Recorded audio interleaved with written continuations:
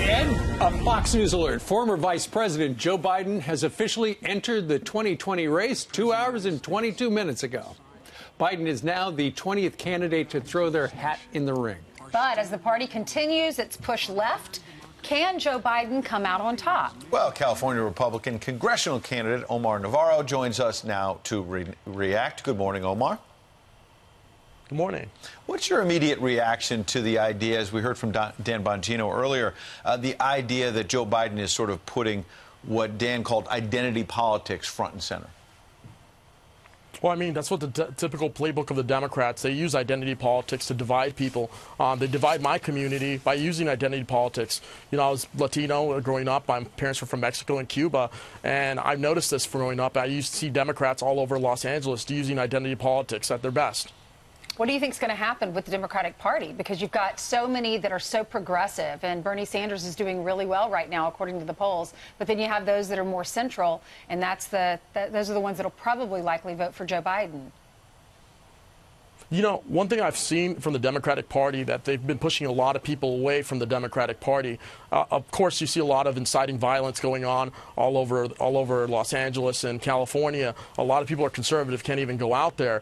Uh, when you see Democrats, Democrats are going after Republicans and, and physically, not not and emotionally. And I think that's the problem that's going on right now. We have someone who's running for president who's had eight years as vice president. And I believe that ultimately is going to come down to the successes of Donald Trump. He's created 4 million jobs. He's had over 400,000 jobs in manufacturing. He's done a lot of good things. I think this is the president we're going to keep in this next election. Well, of course, you would like to replace Maxine Waters in that district there in Los Angeles. You're the Republican, she's the Democrat.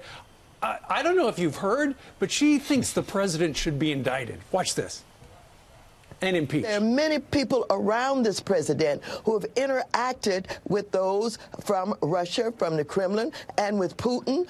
Where are they coming from? And I think when you ask yourself this question, you'd better be concerned about whether or not these are real patriots or whether or not they're in the pockets of the President of the United States. Okay, so uh, she's been pushing the impeachment. I know you tweeted yesterday uh, on Waters yesterday. We must impeach you from Congress for encouraging threats toward Americans and our president. But I know since you are part of a protected class in our country, nothing will happen. The people can stand with me. They can empower me to stop you.